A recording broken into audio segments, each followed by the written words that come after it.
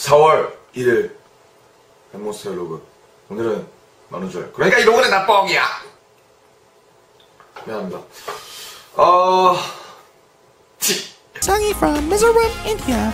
I really, really love Simply K-pop and wanna say this show makes me so happy. Especially when I see BTS performing, of course. Simply K-pop, 사랑해! There's a ribbon in the sky that I love.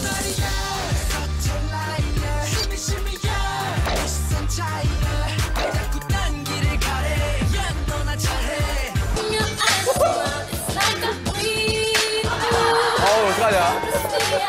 어. 야, 너 핑크 티셔츠 입어야 될 것 같다.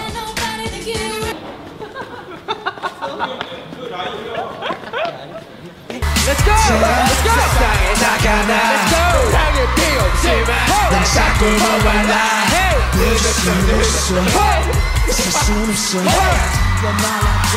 힘껏 떠누고 오 귀여워